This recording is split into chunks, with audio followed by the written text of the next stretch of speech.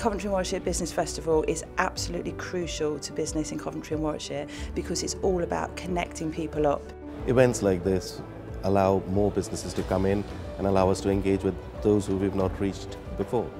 The Business Festival is a great opportunity for uh, local businesses to showcase not only their operations but the whole of Coventry and Warwickshire. So that will show what's going on to not just the nation but internationally. For us, it's very much um, a fantastic marketing tool for them to be able to see us on an external basis, meet the people in our team, understand what we do. It's a really exciting event to get involved in.